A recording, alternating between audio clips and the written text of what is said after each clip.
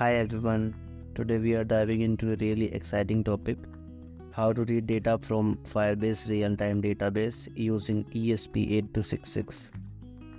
If you have ever wanted to pull data from uh, Firebase and see it in action on your serial monitor, you are in the right place.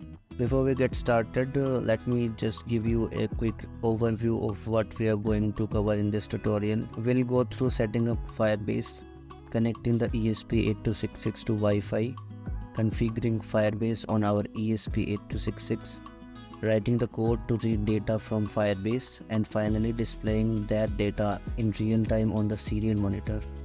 I'll also share some tips on handling errors along the way. Alright, let's jump right into it. First we need to set up Firebase project. In your Chrome, type Firebase and click on the first link.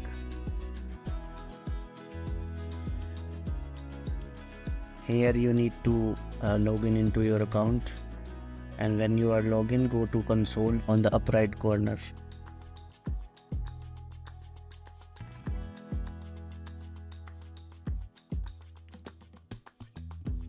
then click on create a project. And if you have already an existing project then you can skip this step. Here I'm going to create one. So providing a project name continue here I don't need uh, Google Analytics so I'm disabling it. It will take a few minutes. Now click on continue. When you click on continue it will redirect you to the uh, project automatically. Now you need to go to build in the left corner and uh, go to real-time database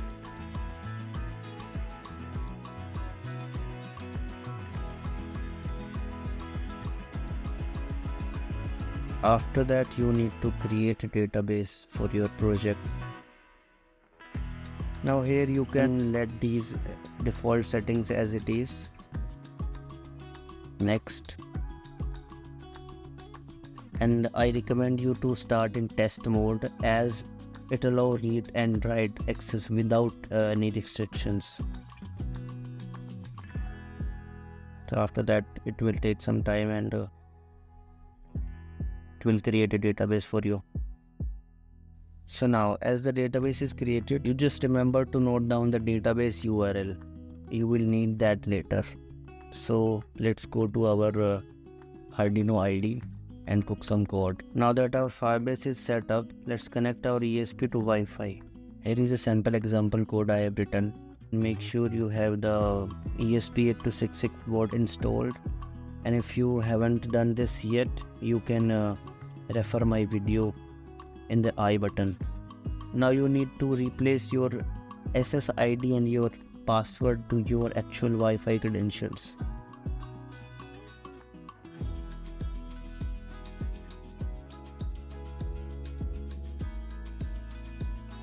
after this uh, just make sure to select the correct port and board for this project so you need to go to tools.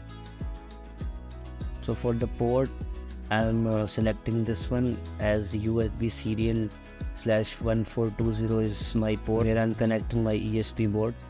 And as we are using ESP8266 we need to just go to boards. You need to select uh, ESP8266 library and then node MCU 0.9 ESP12 module. This is the only configuration you need to set up in this before compiling the project. Now let's try to upload this code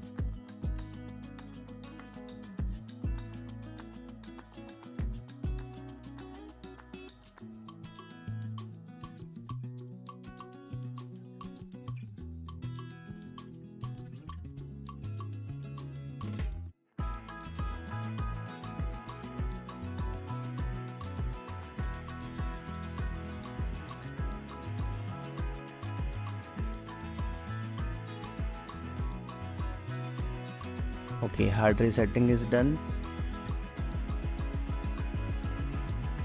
now you need to just copy paste these things only in your uh, personal project and make sure to replace your project ID with your Firebase project ID and your database secret with your database secret. I'll show you how to do that. Go to your console, click on project settings. Now service account. And when you scroll down, you can see the database secret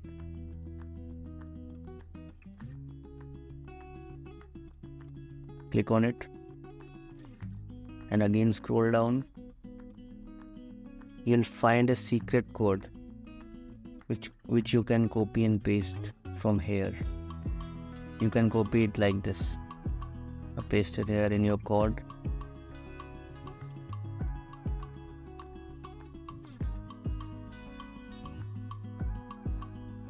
And for firebase project id this url I, I was talking about this is the only thing we have to copy it here in the firebase host. Replace it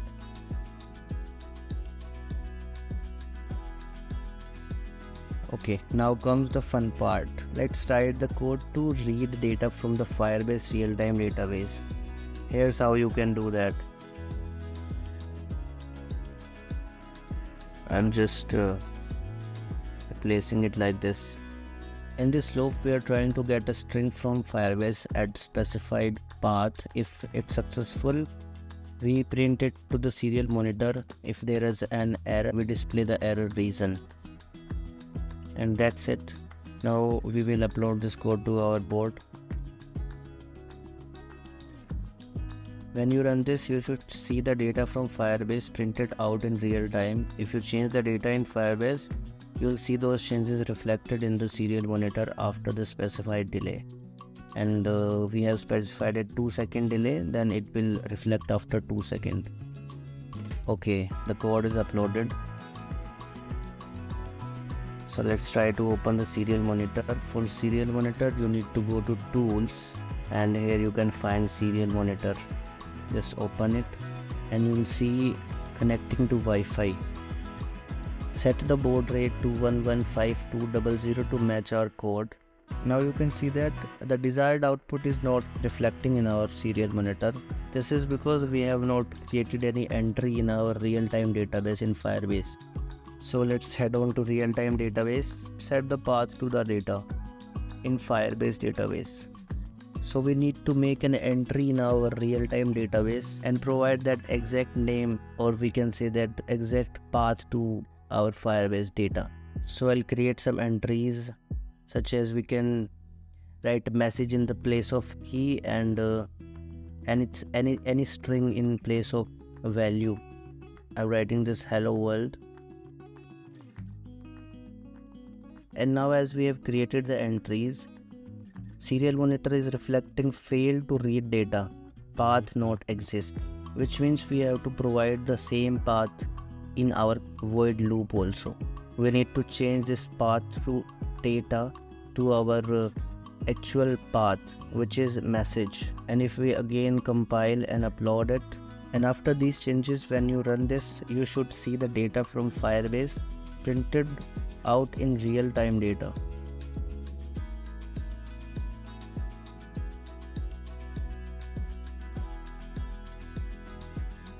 So as you can see that it is fetching data from our real-time database. I have changed the value from hello world to hello user for testing. Now if I go back to our real-time database and change this uh, string to hello everyone and press enter you can see in the serial monitor the message is getting updated so this is how you can do this now let's quickly discuss some common issues you might encounter. If your ESP8266 isn't connecting, make sure your Wi-Fi credentials are correct and that your Firebase rules allow access. Also, check the path you are using to read data. If it's wrong, you won't get any data back. Always use the error message to guide your debugging process and that's it you have successfully connected your ESP8266 to Firebase real-time database and displayed data on the serial monitor. And if you have any questions, drop them in the comment section below.